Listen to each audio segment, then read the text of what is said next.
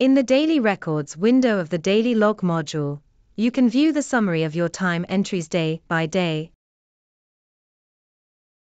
and export them in PDF or Excel. Click on the export icon. In the individual records, you can edit your time entries. To add a new log, you must click on the Add icon. The following window will appear where you can enter the check-in and check-out data for a complete entry.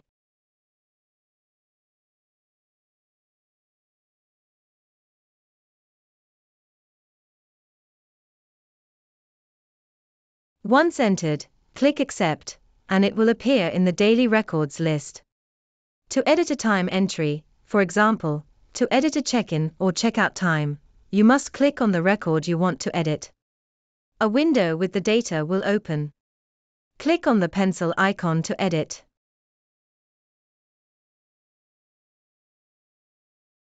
Once the changes are made, you can click Delete or accept the record.